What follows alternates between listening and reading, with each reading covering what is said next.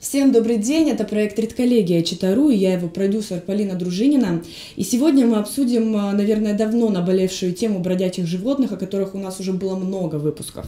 И наш сегодняшний гость, главный специалист-эксперт э, Госветслужбы Забайкальского края Марина Анатольевна Говорова. Здравствуйте. Здравствуйте.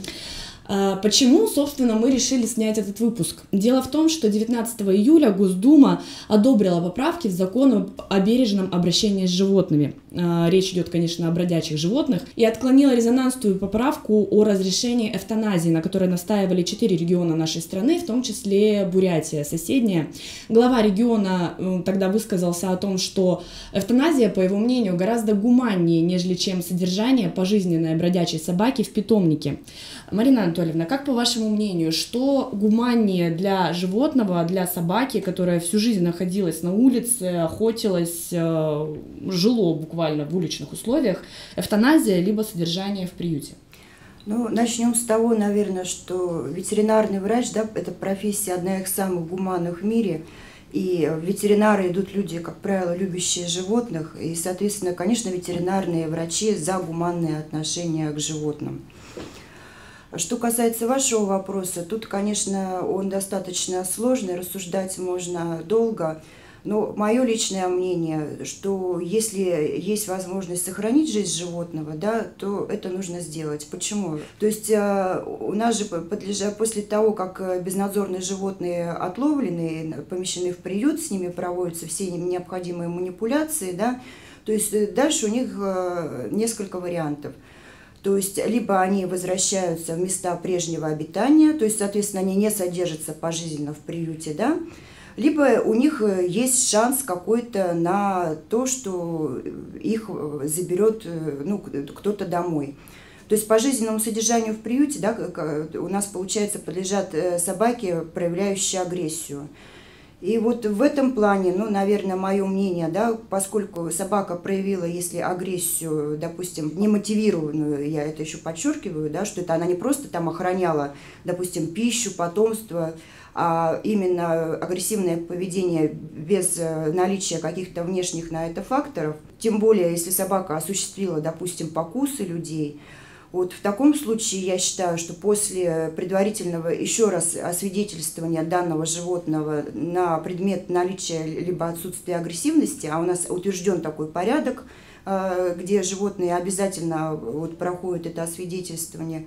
И если уже совершенно точно установлено, что собака, да, действительно агрессивная и представляет опасность, то я считаю, что здесь уже можно поговорить об эвтаназии данного животного.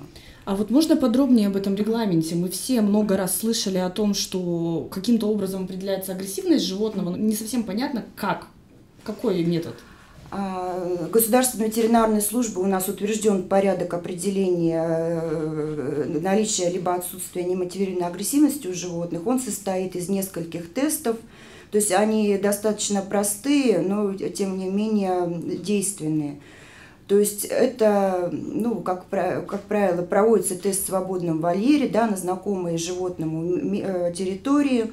А, к нему заходит незнакомый человек э, и ложит в чашку пищу. После этого отходит и наблюдают реакцию животного, да, вот как животное реагирует. Это вот первый этап. Второй этап, э, также человек спокойно, спокойно себя ведет, да, без лишних агрессивных движений, криков, а, предлагает животному ту же пищу, да, и опять же смотрится реакция животное. Ну и третий этап – проверка на неожиданные громкие звуки. То есть это ну, на некотором расстоянии от животного производится какой-то резкий неожиданный звук, и также оценивается поведение собаки. То есть э, это, эта оценка производится комиссионно, в том числе, конечно, с участием ветеринарного специалиста и с участием сотрудника приюта, который непосредственно осуществляет уход за данной собакой, как бы знает ее характер. А, за каждый этап теста начисляются баллы. И по результатам этого балла выводится оценка. Но в случае, если, допустим, бальное тестирование дано спорный результат – то животное через некоторый период подлежит повторному освидетельствованию на предмет вот наличия либо отсутствия агрессивности. Ну и, соответственно, учитываются, допустим, данные, которые поступают э, в заявках на отлов, да, то есть если конкретная заявка идет о том, что такая-то определенная собака проявляет агрессию, швыряется на людей, либо, не дай бог, осуществила покус, то есть в акте отлова делается отметка о том, что эта собака агрессивна, и, а, она в первую, в первую очередь тестируется вот в приюте. Угу. Ну, допустим, вы определили, отловили собаку, определили, что она агрессивна, поместили ее в приют. А как подобные условия, точнее перемена этих условий, влияет на психику собаки, на ее восприятие, может быть, э, себе подобных или людей? Наверняка ведь у животного, которое привыкло жить на воле и оказалось в замкнутом помещении навсегда фактически, что-то происходит в голове. Но, естественно, для животного, для каждого вот такое резкое перемещение да, из привычной среды питания совершенно непривычные для него условия, это, конечно, стресс. Это однозначно. Но, тем не менее, в приюте животное получает кормежку, то есть оно уже не голодает, да, то есть оно получает э, крышу над головой, так скажем, теплую будку, уход какой-то. И, в общем-то, в приютах э, должны у нас быть предусмотрены также возможность выгула животных, если, конечно, оно вот э, не проявляет агрессивности. А есть какой-то, может быть, процент собак, которые уже агрессивные находятся, которые, ну, будучи в тепле, накормленными, сытыми, а, перестают быть агрессивными и отпускаются обратно на волю? Или это, в принципе, исключен такой вариант? Ну, вы знаете, конечно, такой вариант не исключен, поскольку, ну, все-таки собака у нас достаточно высокоинтеллектуальное животное, да, и вот э, какие-то приступы агрессии могут связываться с определенными ситуациями, да, что она голодная, больная. И когда эти факторы отпадают, да, конечно, поведение собаки может меняться. И ее могут отдать людям, ну, условно. Ну, после тестирования, да, естественно, вот, допустим, по результатам тестирования, э, как я уже отметила, что не просто так, что в нем участвует также сотрудник приюта, который ухаживает за данным животным и который уже его знает и может э, высказать свое мнение об его поведении. Вернемся немножко к тому, с чего начали, к эвтаназии. Э, для ветеринара, ну, безусловно, не просто наверняка проводить такую процедуру. Кто-то вообще на это соглашается добровольно, или нужна какая-то дополнительная квалификация, или какая-то моральная устойчивость. Кто вообще проводят такие процедуры? Ну, такие процедуры у нас проводятся ветеринарными врачами профессиональными, естественно, но они проводятся только по показаниям. То есть, как вы знаете, да, у нас 498 закон запрещает эвтаназию не только безнадзорных животных, но и, в общем-то, домашних беспричинную. И поэтому эвтаназия проводится только при наличии неизлечимого заболевания, да, которое приносит э, страдания собаки и шансов, так скажем, на нормальную полноценную жизнь у животного нет. Угу. Поэтому ну, в этом случае эвтаназия – это акт гуманизма по отношению к животному, да, для того, чтобы прекратить его мучение.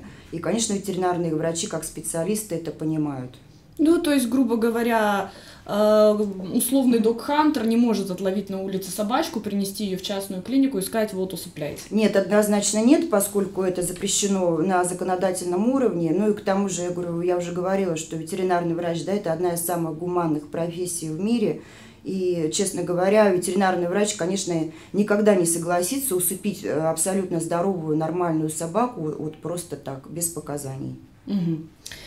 А, по вашему мнению, откуда у чиновников такое желание избавиться таким радикальным способом от собак? Ну вот в частности в Бурятии мы могли бы тоже незабвенный случай, когда загрызли у нас пятиклассницу, конечно, до сих пор отзывается у всех. А, но настолько ли необходимо такое радикальное решение? Может быть, просто закон об ОСВВ не работает? Ну, знаете, опять же, этот вопрос. Э, обсуждения закона УСВ было очень много сломано копий, да, и тут очень много мнений и позиций, каждая, наверное, имеет право вот на существование. Ну, в Бурятии, наверное, это прежде всего вот связано с резонансными событиями, которые у нас в прошлом году да, происходили. Там у них было несколько случаев Э, когда гибли люди а, от безнадзорных животных. И я думаю, что вот это именно связано вот с этой ситуацией, что резонанс ну, на всех слоях населения отразился. И поэтому э, так скажем, руководство республики, видимо, вот поддалось таким настроениям. В том же законе, который мы сейчас обсуждаем, а, обсуждалось очень, так, на самом деле это была основная, наверное, мысль чипирования животных, в частности, чипирования домашних животных, а, чтобы в случае того, если там человек завел себе щеночка, поигрался и выбросил, можно было его э, найти, наказать штрафом, предлагается суммы вплоть до 100 тысяч рублей. Насколько, по вашему мнению, будет эффективна данная мера именно в плане э, снижения числа бродячих животных на улицах? Ну, чипирование домашних животных у нас вообще принято во всем мире, это является обязательным. Единственное, что тут как бы возникают вопросы о том, э, чтобы сделать этот процесс да, вот контролируемым. Угу. То есть, во-первых, должен быть закон, да, который обяжет э, чипировать в обязательном порядке домашних животных. Соответственно, должны быть какие-то ответственные органы, которые будут следить за его исполнением и контролировать этот вопрос. Ну и должно быть, естественно, тогда административное какое-то наказание за неисполнение. Угу. А, ну хорошо, допустим, а, собачку чипировали или не чипировали, привезли ее в приют, там все ее вакцинировали, стерилизовали, приходит семья, хочет забрать эту собаку себе. Она, допустим, уже ну, пробыла какое-то определенное время в приюте, меняется ли как-то поведение животного, его отношение к человеку? Можно ли считать такое животное безопасным для содержания в доме? Ну, опять же, на этот вопрос невозможно однозначно ответить, э, поскольку это все индивидуально, да, это надо будет э, учитывать психику определенного животного, его характер, э, при каких условиях, да, оно оказалось на улице, его возраст и тому подобные вопросы. В этом случае, ну, это проще поговорить, допустим, желающему, так скажем, усыновить животное а, с работниками приюта, которые уже знают характер животных, да, и которые могут уже что-то определенное рассказать о каждом животном, да, и в то же время также поговорить с семьей, выяснить условия жизни и что-то им посоветовать, возможно, какое-то конкретное животное. Ну и плюс, допустим, не, можно же не сразу забрать животное, да, а взять его под патронаж – и просто приходить в приют его, навещать, гулять с ним и таким образом как бы познакомиться с ним поближе и уже определить, подходит ли а, данное животное определенной семье. Э, что под собой предполагает патронаж? То есть как можно стать э, опекуном собачки в приюте? Ну, у нас э, приюты открыты для посещения волонтеров. Единственное, что владельцы приютов а, для этого устанавливают определенные дни и часы, то есть, э, в общем-то, желающие могут обратиться к руководству приюта, да, и в, определенное время а, прийти в приют, да, и предложить, допустим, вот свою какую-то помощь. Угу. То есть это материальная помощь, какая-то может быть волонтерская помощь? Да, либо какая-то, ну, по согласованию, конечно, с руководством приюта, то есть э, что на данный момент, да, можно предложить. Ну, либо, вот, допустим, та же помощь вот, э, в уходе за, за животными, в выгуле. Угу. То есть даже гулять с ними можно? Ну, по, на территории приюта, естественно. А. а человек может быть уверен, что если, допустим, питомец его э, воспитанник его укусит, он ничем не заразится, потому что СВВ же предлагает, предполагает еще и вакцинацию. От каких болезней вакцинируют, и можно ли все-таки что-то подхватить? Ну, у нас собаки? самое страшное заболевание, да, которое вот таким образом может передаться, это бешенство. Все собаки, поступившие в приют, подлежат обязательной вакцинации от бешенства. Угу. А чумки? А это заболевания, которые не передаются человеку, это сугубо вот заболевания животных. Угу. А, и все-таки вернемся к началу. Как вы относитесь к поправкам принятым? Я напомню, что это чипирование, запрет самовыгула а, и непринятая поправка об эвтаназии. Вы как ветеринар, насколько считаете такой подход верным либо неверным? Ну, чипирование у нас, по-моему, обязательное не было принято, насколько я знаю. Ну да, это обсуждалось, да, и обсуждали, в частности, штрафы. Да. Но я говорю, что с чипированием вопрос, э, мое мнение в том, что кто будет контролировать исполнение то есть нужен контролирующий да, орган? Да, конечно. Будет... Иначе э, э, этот пункт работать просто не будет. Угу. А возможно ли в нашем регионе, может быть, на, на базе госветслужбы бесплатное чипирование или льготное чипирование? А, на самом деле чипирование стоит э, не так уж много, и вот я не могу точно сумму сказать, там, по-моему, около 200 рублей. Угу. То есть это доступно абсолютно То есть это абсолютно доступно. От, ответственным да, владельцам да. собак. А, и, наверное, последний у меня к вам вопрос. Насколько вы считаете действенным закон об ОСВ? Может быть, что-то бы, по вашему мнению, нужно было бы в нем доработать, потому что, как вы уже сказали, что копий сломано уже миллион, и бродячие собаки все еще продолжают бегать по нашим городам. Как можно преломить эту ситуацию? Ну, здесь, конечно, по этому вопросу можно рассуждать часами, да, но вот я вам скажу тоже свое личное мнение. Я много информации собирала вот именно по этому закону. То есть вот проблема в том, да, чтобы для того, чтобы достичь результатов, на которые вообще направлен этот закон э, сам, и, в общем-то, задумки-то, они весьма неплохие, да, гуманные и но для, для того, чтобы это работало, то есть э, нужно в определенный короткий промежуток времени стерилизовать большую часть животных. А это, к сожалению, ну, достаточно сложно сделать. Из-за объемов именно. Да, из-за объемов, да, именно. Угу. Ну что ж, э, я думаю, все предельно понятно. Ветеринары против эвтаназии считают это негуманным. Ну, если речь, конечно, не идет о тяжелобольных животных. Э, мы желаем вам быть все-таки осторожными на улицах, поскольку до сих пор э, видим толпы бродячих собак на улицах города, но радует, что уже большинство из них с бирками, а значит стерилизованы, вакцинированы и, как следствие, менее агрессивны. Спасибо вам, Марина Анатольевна. Приходите к нам обязательно еще. До свидания. До свидания.